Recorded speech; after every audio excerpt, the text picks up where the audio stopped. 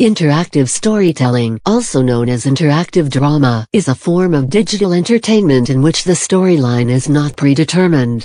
The author creates a setting, characters, and situation which the narrative must address, but the user, also reader or player, experiences a unique story based on their interactions with the story world. These systems alter the world in real-time reactions to the player, and ensure that new narrative events unfold comprehensibly.